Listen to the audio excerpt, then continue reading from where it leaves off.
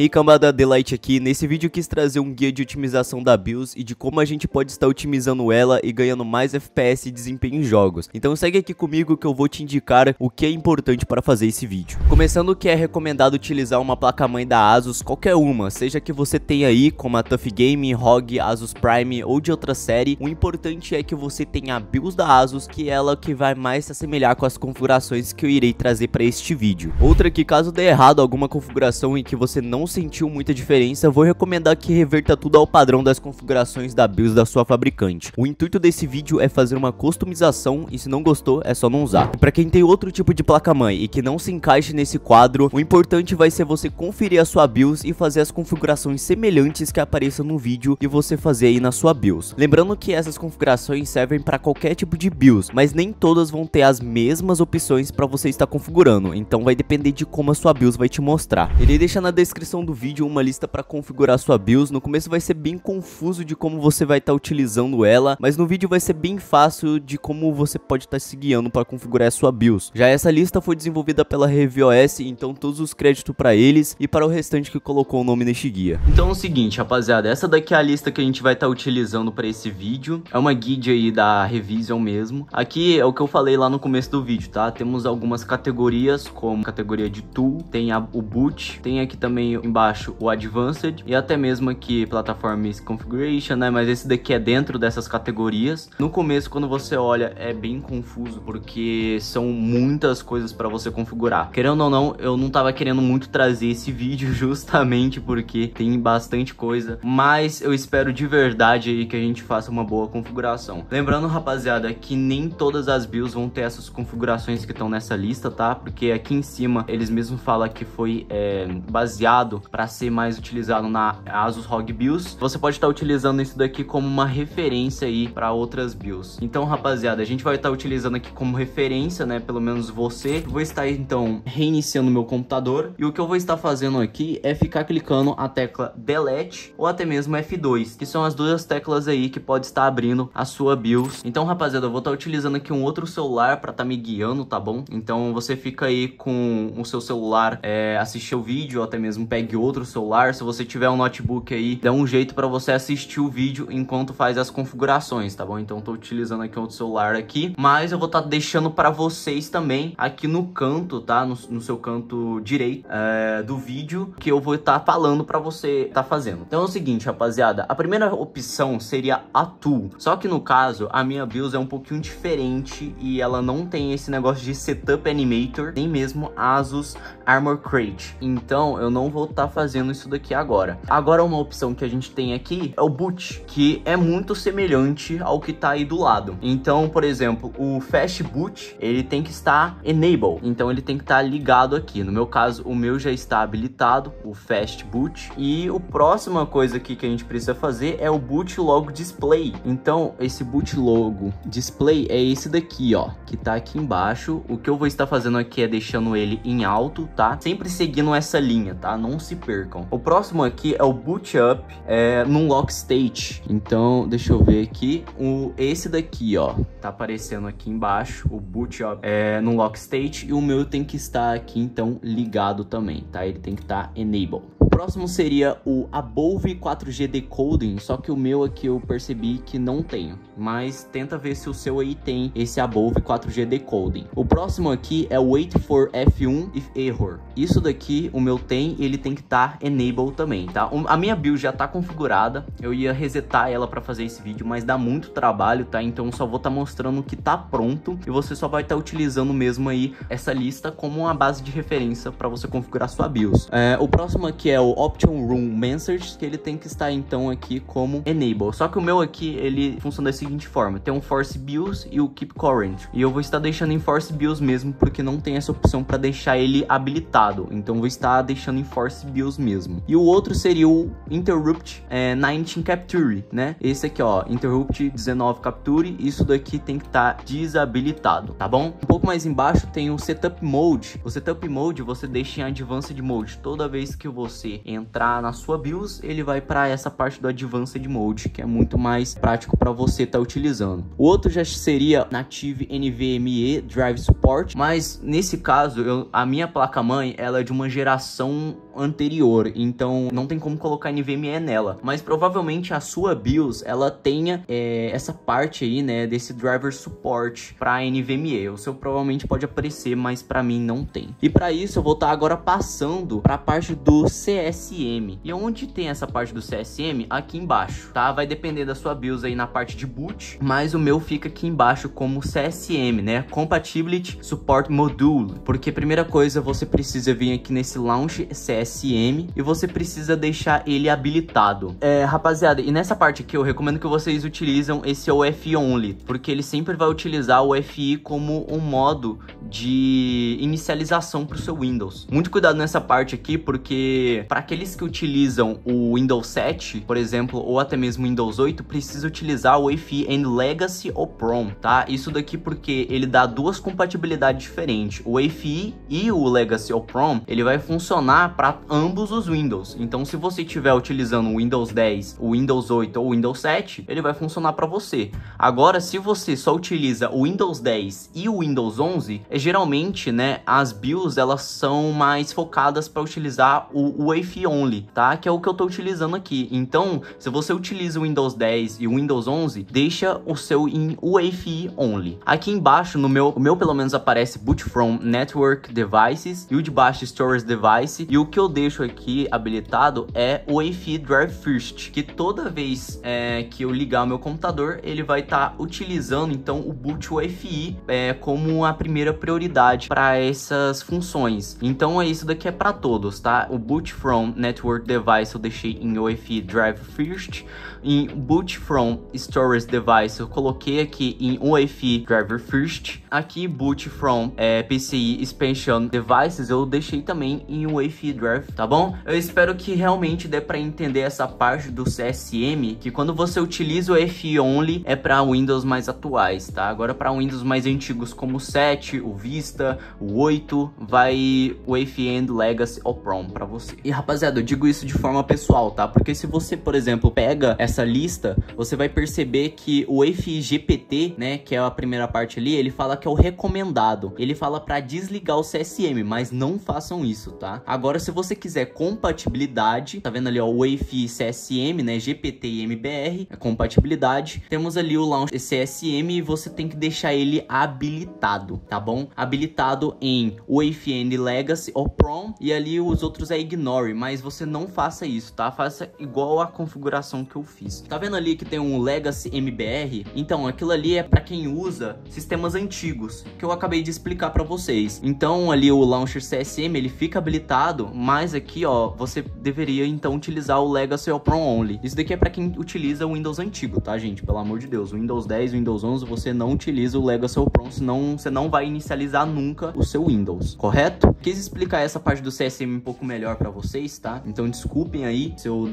é, atrasei um pouco o vídeo, mas essa parte é muito importante vocês entenderem. Agora que nesse Secure Boot é a próxima opção que a gente precisa fazer, tá? Então esse OS Type que aparece aí, a gente tem que selecionar em Windows UEFI Mode, porque toda vez que a gente for inicializar o nosso Windows, ele vai estar tá utilizando o Windows UEFI Mode para inicialização. Mas você também pode deixar em Alter OS. Então esse Alter OS aí seria mais ou menos se você utiliza outros Windows, né? Se você já fez aí então um meio que um Macintosh de utilizar dois Windows diferentes, com um Linux e um outro Windows, ou até mesmo aí é, um Windows e um Mac OS. Então isso daqui, rapaziada, vai depender de vocês, tá? Aí no caso na lista, ele tá falando para utilizar Other OS, mas eu vou estar deixando aqui o Windows UEFI Mode porque isso é um único modo de Windows que eu utilizo, eu só utilizo o Windows mesmo. Temos aqui embaixo é, esse Key Management, que ele fala pra gente poder clicar para deletar alguma, algumas coisinhas. Então tem esse PK Management que ele fala pra gente dar um delete PK, né? Que é isso daqui, ó. Eu não sei, mas o meu, ele pelo menos ele não deleta, eu já deletei isso daqui. Isso daqui se tiver alguma chave, né? Eu acho. Então, no meu caso aqui eu não tenho uma chave para isso, então ele não vai não vai ter como deletar. Mas se caso você já fez alguma configuração na sua BIOS antes e você consiga deletar isso, então você delete. Então tem esse Kek Management que você pode estar tá clicando para deletar também, tem esse DB Management que ele fala para deletar também, isso seguindo a lista. Então aqui ó, ó tem esse DBX Management, ele fala para deletar, então vou estar tá deletando aqui esse DBX Management. E pronto, ele deletou, tá? Então acho que deu para te mostrar aí o que, que era para você fazer. Ele fala para deletar todas essas keys aí. Agora é o seguinte, a gente vai passar aqui, ó, para a parte de Boot Option Properties, tá? Que no caso seria aqui, ó, isso daqui. Isso daqui é para você selecionar a parte de entrada de inicialização do seu Windows. Então aqui eu estou utilizando mesmo o Windows Boot Manager, que ele está utilizando o meu SSD de 240 GB. Então essa parte que você não precisa mexer, é, deixa normal como está o seu mesmo, que ele vai estar tá inicializando o seu Windows normal, igual o meu aqui. Ele vai estar tá utilizando o Windows Boot Manager, ou até mesmo se o seu tiver selecionado como o seu, é, o seu disco aí, né, como NVMe ou SSD, então deixa ele aí para ele inicializar com o seu Windows já direto. A categoria Advanced né? Tem várias categorias aqui e a primeira delas que aparece na lista é o CPU Configuration. Então aqui a gente vai primeiro no CPU é, Configuration. Aqui, ó, se você segue na lista, temos esse Hyper-Threading. No meu caso aqui, eu não tô vendo ele aparecer, mas o que você precisa fazer é o seguinte. Se você deixar ele habilitado, ele é recomendado para as pessoas que tenham em torno de 6 núcleos de CPU, mas também ele é o que mais é compatível. Já o, o desabilitado é para você ter a melhor latência latência, melhor temperatura, mas também é, ele aumenta FPS dependendo do, da Game Engine. Uma coisa interessante é que não é bom você utilizar é, no modo desabilitado esse Hyperthreading. Eu digo isso daí para vocês, não utilizam ele desabilitado, porque muitos jogos você vai ter muita queda de FPS, até mesmo stuttering, é, como CSGO, até mesmo Fortnite. Esses jogos, dependendo, precisam muito do Hyperthreading para funcionar e te dar FPS. Então, aquele FPS absurdo que você pega de 400, 500 FPS ou até mais, é por causa que você tem que deixar o Hyperthreading ligado. Então, você deixa aí o Hyperthreading em Enable, tá? Você deixa ele ligado e não desliga essa função. Bom, a próxima opção aí, né, é o Thermal Monitor. Mas no meu caso eu deixei aqui, é, tem que deixar ele disable, né? Tem que deixar ele desabilitado, mas o meu ele não, ele não tem aqui, incrível que pareça. Agora tem um Active Processor Cores que você precisa deixar ele em AL. Então isso daqui é para os núcleos do seu processador, então deixa ele aí em todos. Isso daqui é para você criar máquinas virtuais no seu computador. Se você ainda utiliza o, M, o é, né? Eu acho que é isso. E você faz coisas para simular um Windows no seu próprio computador, então essa função aqui vai depender de você, se você quer deixar ela, ela ligada ou desligada. Essa função aqui, ela permite você criar é, um Windows virtual, mas no meu caso eu não crio Windows virtual no meu, então eu deixo ela desabilitada mesmo. Mas se você utiliza aí para alguma coisa, né, usa aí o VirtualBox para fazer uma simulação de outro Windows, você precisa deixar esse Intel Virtualization Technology ligado. Mas para quem deixa desligado, é, melhora bastante a compatibilidade até mesmo no aumento de FPS. Agora temos aqui o Hardware Prefetcher, que isso daqui você precisa deixar em habilitado, tá? Que é essa função que tá aí do lado. O próximo é o Adjacent Cache Line Perfetch, que isso daqui você também precisa deixar ele enable, ligado. A próxima função é o boot performance mode, que você tem que deixar em max non turbo performance. Fazendo então essas funções, a gente termina aqui, pelo menos a minha parte de advanced da CPU. Mas temos aí outras coisas também, tá? Tem esse SW Guard Extensions, que você precisa deixar ele desativado, e esse TCC Offset Time Window também desligado. Que coisa que não aparece aqui no meu, infelizmente Change. Mas talvez o seu apareça. Agora tá vendo aí, tem uma outra categoria que é o CPU Power Management Control, que é isso daqui, ó, que começa com esse Intel Speed Step, mas no meu caso não tem isso e você precisa deixar ele em habilitado. Aí tem esse CPU 6 stats que o meu aparece e o seu precisa estar tá desativado, tá? Isso reduz a latência, muita latência. Tem o CF Lock, que é isso daqui, e você precisa deixar ele disable também. Então as mesmas configurações que você tá vendo aqui no meu, você faça aí no seu. E tem esse Turbo, Turbo Mode, e é bom você deixar ele Enable se aparecer para você. Aí tem outras coisas que aparecem também, que é esse Intel Speed Shift Technology, que o meu não aparece. Você precisa deixar ele em Disable. O Execute Disable Bit, você precisa deixar ele em Disable, que não aparece no meu, mas também deixa em Disable. E é o seguinte, depois que você termina de configurar o CPU Configuration, temos aqui a gente mexer na Platform Configuration, isso daqui. aqui. Isso daqui você precisa estar tá deixando esse Platform MISC Configuration em PCI Express Native Power Management em desativado. Vai aparecer algumas coisinhas que não aparecem no meu, como esse PCH PCI Express, que você precisa deixar ali o, esse PCI DMI ASPM desativado, esse ASPM desativado, tem esse L1 Substats desativado, tem esse PCI Express Clock Gating desativado e tem outra categoria lá que é esse SA PCI Express que você precisa desativar esse DMI Link ASPM Control e esse PEG ASPM desativado. Eu tentei achar isso daqui no meu, mas ele é um pouquinho diferente, tá? Ele fica aqui nesse PCH Configuration, nesse PCI Express Configuration. É aqui onde tá esse DMI Link SP Control, que no meu caso era para estar tá desativado. A categoria de System Agent Configuration é isso daqui, ó. Esse System Agent Configuration tem esse, esse VTD aqui, ó, que você precisa deixar ele em desativado. Então você deixa ele desativado. Né, no Graphics Configuration, que é essa outra parte aí, você precisa deixar o Primary Display em PEG, tá? No meu caso ele não aparece aqui, então eu deixo em alto. Coisas que não aparecem nessa lista, você deixa no que tá mesmo aí, tá? No alto padrão, porque para evitar de outros problemas. Outra coisa que temos aqui também é o IGPU Multimonitor, que eu deixo também em desativado. Voltando, temos então o DMI OPI Configuration, no meu caso o meu aparece como DMI Configuration, que ele pede para a gente estar tá deixando aqui o DMI Max Link Speed em Gen 3, né?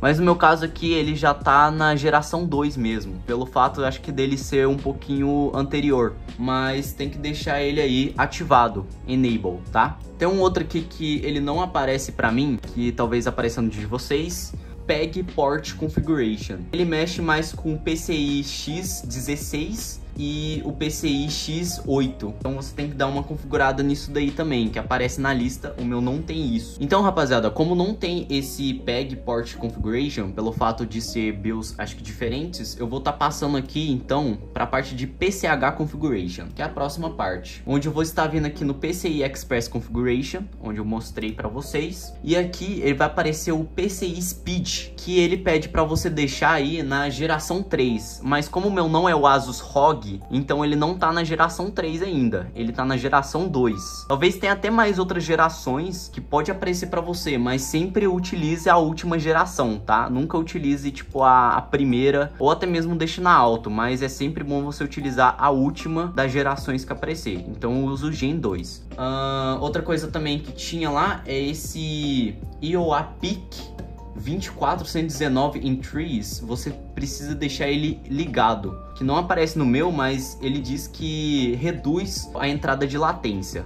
Mas o meu não tem, então vou estar tá só skipando essa parte mesmo. Tem essa outra parte aí do PCH Storage, que é esse SATA aparece aqui. Então tem o, o, SATA Mode Selection, que aparece também, eu tenho que deixar ele em HCI. Aqui tem esse Aggressive LPM Support, eu preciso deixar ele em Disable. Smart Status Check, preciso estar deixando ele desativado faça essas configurações aparecer para vocês, tá? No meu caso, eu tive que vir aqui no SATA Configuration para fazer o resto dessa PCH Storage Configuration, que tá aparecendo aí na lista. Então, pode ser que apareça mais coisas aí para você, tá? HyperKit Mode, SATA Controllers, isso daí não aparece para mim aqui, mas talvez para você apareça. Tem esse Thunderbolt Configuration, que não aparece no meu, então se você tiver ele, são alguns suportes que você precisa estar tá desativando elas. A outra função é que é o PCH é FW Configuration, que é uma outra opção que você precisa estar tá desativando esse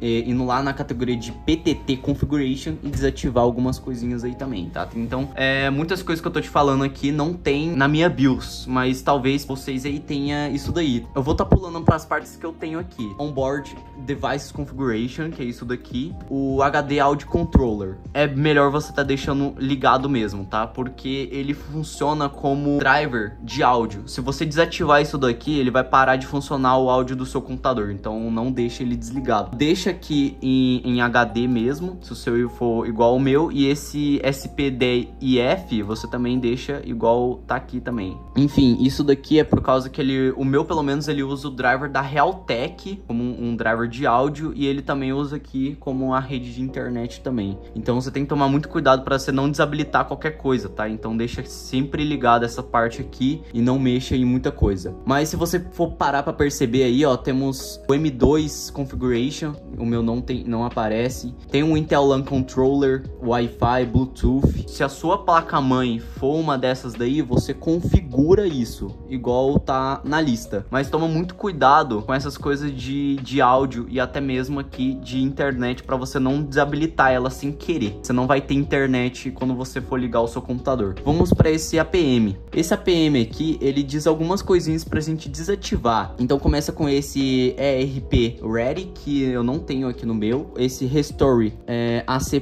Power Loss, ele deixa aqui pra gente deixar em Power Off. Então vou estar tá deixando em Power Off. Aqui temos o Power On PCIe, que no caso ele também deixa pra gente estar tá deixando desligado. Esse Power On by RTC, que ele fala pra gente deixar ele desativado. Então o meu já tá desativado mesmo. Temos outras opções aqui também, que aparece como entrada para PS2 Keyboard. Tem esse Ring também, tá aí no, no canto da lista, que não tá aparecendo no meu. Se aparecer no seu, você desabilita aí como ele for pedindo. Aparentemente eu não tenho esse PCI Subsystem Settings, mas se você tiver, você precisa desativar esse suporte aí. E aqui o que eu tenho é o Network Stack Configuration, isso daqui, onde ele pede então pra gente deixar esse Network Stack desativado. É, USB Configuration então, esse Legacy USB Support, na verdade, ele recomenda você deixar ele desativado, mas se você deixa ele habilitado, isso serve para você instalar o Windows em Legacy MBR com um USB, tá? Então, mais ou menos resumindo, você pode, se você deixa essa função aqui ligada, você pode formatar o seu computador para Windows anteriores, tipo o 7, o 8, e utilizar então o USB que ele vai reconhecer a entrada de USB suporte. Mas no meu caso aqui, eu não quero isso, porque eu utilizo GPT, né? Que é uma entrada diferente, uma entrada atual. Então eu vou estar tá desabilitando essa função aqui. Temos esse USB Keyboard Mouse Simulator, que não tem no meu, mas você pode estar tá deixando ele desativado. E um que eu tenho aqui é esse XHCI Hand Off,